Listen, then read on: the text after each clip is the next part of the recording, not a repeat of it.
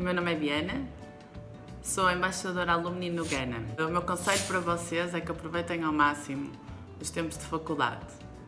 Vão à praxe, aproveitem os amigos que vão fazendo nos corredores durante a praxe e no grupo de estudo.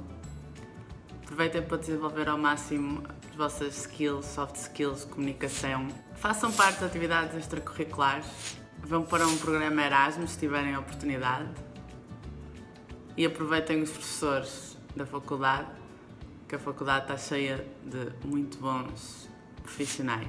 Eu estou por aqui para qualquer questão, qualquer curiosidade sobre o Ghana, até uma visita e boa sorte a todos. Bom Natal!